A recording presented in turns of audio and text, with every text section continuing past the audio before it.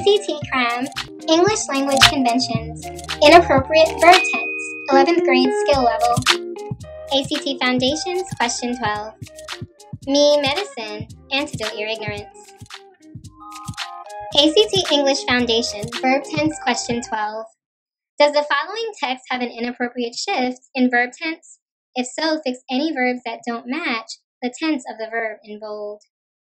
In 1982, audiences flocked to see the heartwarming film E.T. The film's protagonist, a young boy troubled by his parents' separation, helps an alien inadvertently left behind on Earth. Here's what you need to understand. The tense of a verb tells when the action takes place. You should generally avoid shifting tenses within or between sentences unless you need to reflect a time change. Let's take a look at this example. Kathy grew up in Cleveland, but now she lives in Pittsburgh. The sentence shifts to the present tense to reflect a time change. This is appropriate in this instance. We shift from Kathy's younger years, as indicated by the verb phrase grew up, and then to her present adult self with the verb lives. As I previously stated, this shift in tense is appropriate. Or check out this second example. Rachel grabbed the microphone and sings to the crowd. There is no need to reflect a time change, so both verbs should be in the same tense. The first featured verb grabbed is written in the simple, singular, past verb tense, so we know the singing also took place in the past. However, the second verb, sings, is written in the simple, singular, present verb tense. There is no need to reflect a time change.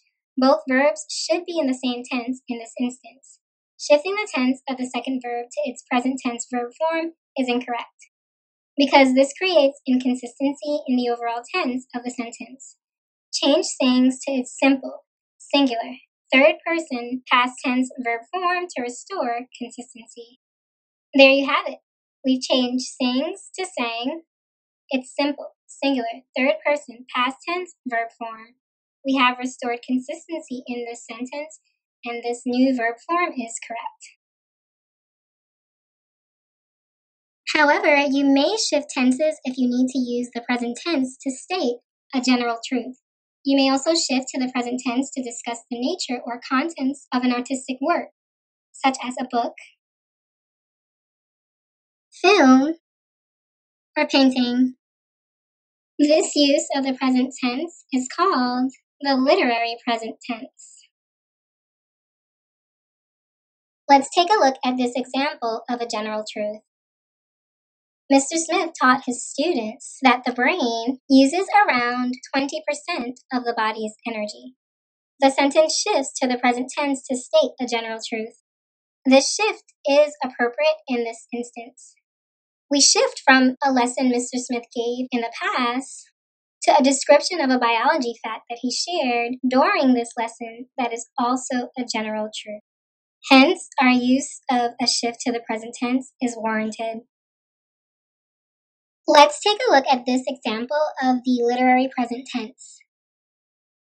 Shakespeare wrote Romeo and Juliet in the late 1500s, but the play explores themes that are still relevant today. The sentence shift to the present tense to discuss the nature and contents of the artistic work Romeo and Juliet. This tense shift to the present is appropriate in this instance. All right, back to the original question now for the solution. Look at the verb in bold, flocked. It is in the past tense. However, notice that the third verb after the interrupting phrase offset by the commas is helps. It is written as a simple, singular, third person, present tense verb form.